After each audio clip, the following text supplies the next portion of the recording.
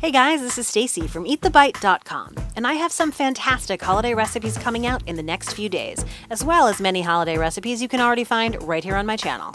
Let's take a look at what's coming in the next few days. I've got Phyllo Cup appetizers, five ways. That's right, I've got mascarpone raspberry blueberry bites, sausage and cheese, chicken cordon bleu bites, shrimp and bacon with lemony breadcrumbs, and lastly, a holiday classic goat cheese pesto and roasted red pepper.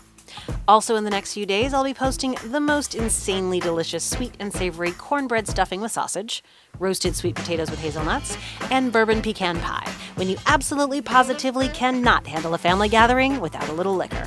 I've also got some tried and true videos already posted right here on my YouTube channel.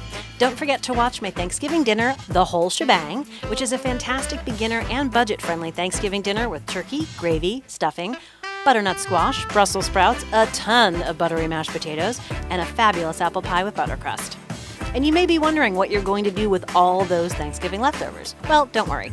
I've got a great video to walk you through building a monster turkey gobbler sandwich. I'll leave all the links below.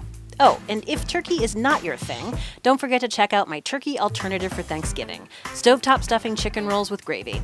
I'll leave the link to that below too.